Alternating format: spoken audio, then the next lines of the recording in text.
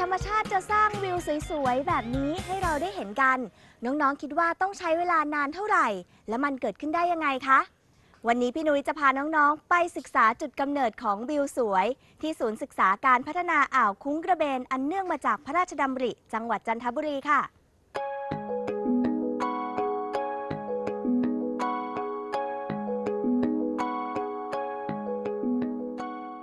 และตอนนี้ค่ะ พี่นุ้ยก็อยู่กับพี่วัชรีศรีทองคำหรือว่าพี่เอค่ะ เจ้าหน้าที่วิเคราะห์นโยบายและแผนศูนย์คุ้งกระเบนค่ะ สวัสดีค่ะพี่เอสวัสดีค่ะ พี่เอคะอยากให้พี่เอเล่าให้ฟังหน่อยค่ะว่าอ่าวคุ้งกระเบนเนี่ยเกิดขึ้นมาได้ยังไงคะค่ะอ่าวคุ้งกระเบนเนี่ยเกิดขึ้นเมื่อเออประมาณ 400 กว่าล้านปีที่ผ่านมาแล้วนะคะ ถ้าอืมถ้าจะเรียก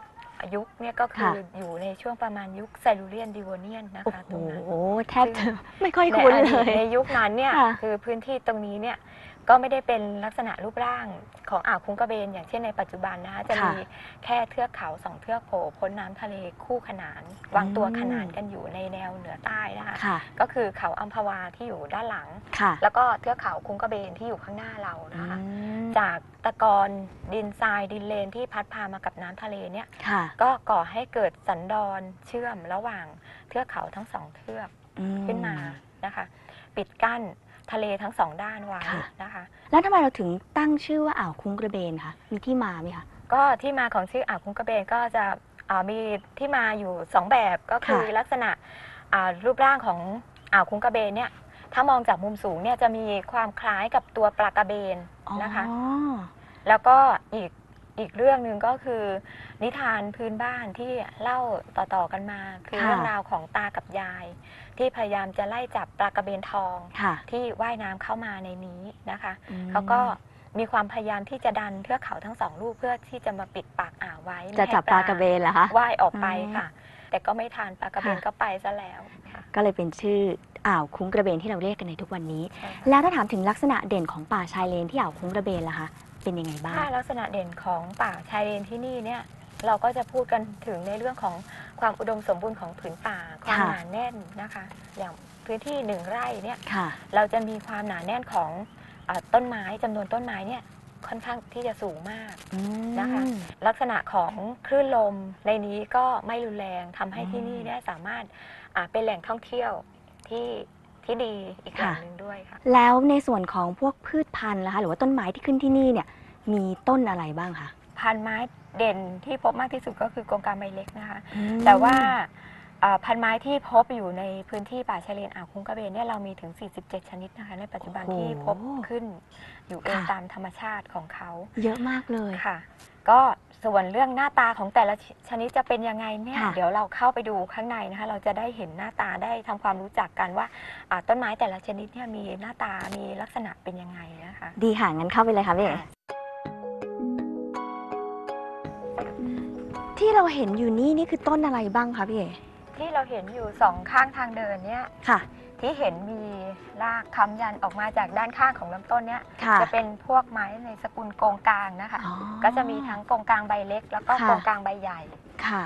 แล้วก็มีประสักดอกแดงนะคะ ค่ะ ลักษณะใบก็คล้ายๆโกงกลางต้นจะตรงมากเลยนะคะใช่ค่ะ แต่ว่าประสักเนี่ยจะไม่มีรากค้ำยันเหมือนโกงกลางอ๋อนะคะ จุดสังเกต ใช่ค่ะ ถ้า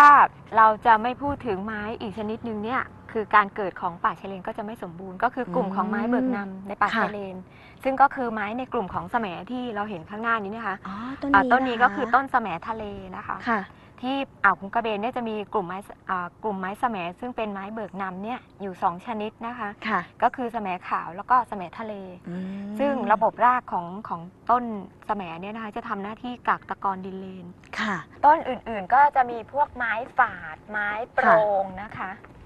แล้วก็พวกในกลุ่มของตะบูนตะบันพวกนี้นะคะ รวมๆแล้วเนี่ยนับนับๆได้ 43 ชนิดใช่ไหมคะที่พี่เอ๋บอก นอกจากต้นไม้ที่เราเห็นขึ้นกันอย่างอุดมสมบูรณ์แบบนี้แล้วอะค่ะ ที่นี่ยังพบสัตว์อะไรบ้างอะคะก็มีทั้งพวกนกแมลงพวกเอ่อ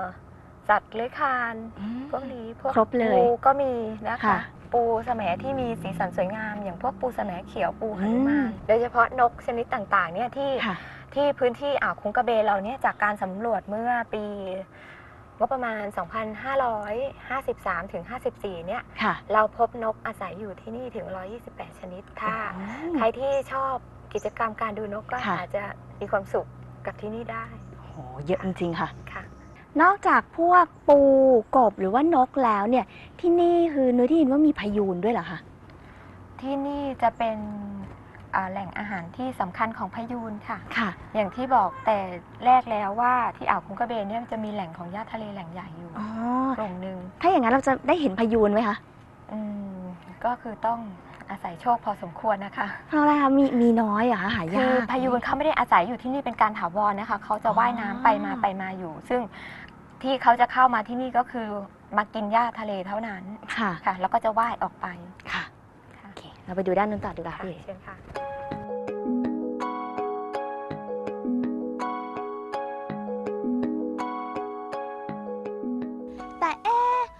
ชายเลนอยู่ติดกับทะเลแบบนี้ น้องๆคิดว่าน้ำและดินที่นี่จะมีค่าเป็นกรดหรือเบสคะ